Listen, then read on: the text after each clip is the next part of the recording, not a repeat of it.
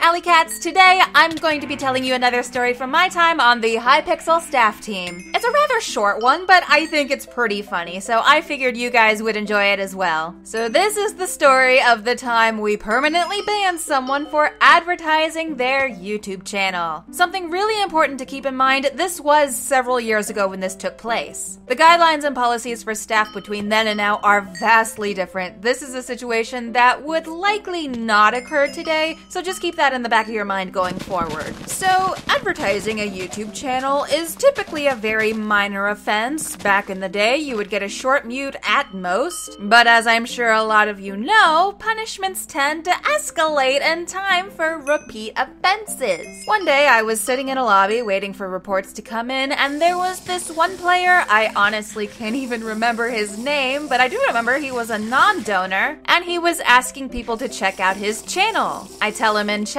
please don't do that, but he just left the lobby. I followed him to the next lobby he went to where he was still continuing to advertise his channel. So I figured it was time to issue a mute. I go to check his punishment history, thinking at most he'd probably get a mute for about an hour or so, but to my surprise, this guy had almost 20 previous mutes over several months, all for social media advertising. He'd accumulated so many infractions, I had no idea what to do with this guy. So I brought up the situation in staff chat. His last mute had been for a couple months, so eventually we came to the mutual agreement to give a short ban, thinking now if we restrict his access to the server entirely, then he may actually get the hint that he's breaking the rules and it's only going to get worse if he continues. So I give him a one day ban. Nothing too bad, just something to get the point across. Fast forward about a year, I had completely forgotten about this person since, of course, as a staff member, we were dealing with dozens and dozens of people every day. So it was very rare that we would individually keep tabs on someone after we issue a punishment. Until one day, I was once again sitting in a lobby chatting with a couple people when someone randomly comes into the lobby to advertise their channel. The name does look familiar, so I checked their user information, and not only is it the same guy from a whole year ago, but in the time since I last saw him, he has racked up 10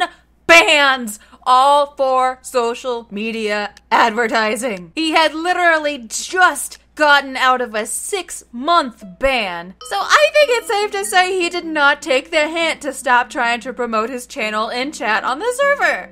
Obviously, the offense itself is not a big deal at all, but after close to 30 infractions, all for the same damn thing, just Ugh. Though I gotta give this guy points for persistence, though I also have to wonder just how lacking in brain cells he is. Clearly, the more he advertises, the worse his punishments get. He just spent six months, half of a year off the server just to come back and immediately do the same thing yet again. He didn't even check to see if there were any staff in the lobby, wasn't paying attention at all because I was actively talking with people in chat, but he still did it anyway. So I went back to the staff chat and explained the situation again, and apparently, since I last dealt with this individual, he had become sort of a meme and a running joke among the team just because of how many punishments he had accumulated for such a minor offense. There were several staff members who were commenting things like, Oh, that guy, he's back already? He really did it again? And after some laughs and further discussion, we came to the conclusion that this dude was obviously not going to stop. If a six month ban didn't get the point across, then nothing would. We checked his player stats and he didn't even play games that often. He played some, but he wasn't really very active in anything. It's like playing the games, which is the whole point of the server, was an afterthought, and his main priority was just to advertise his channel. Which wasn't even getting him that much of an audience, if I'm being completely honest. He only had like 16 subscribers and he posted some videos from various Minecraft servers, and they were pretty cringy, low quality, though I'm one to talk. But since we were fairly convinced he was absolutely not going to stop, we came to the mutual decision to permanently ban him because at this point he was just being a nuisance and far more trouble than he was worth. And so we gave the first and probably only permanent ban for something as small and simple as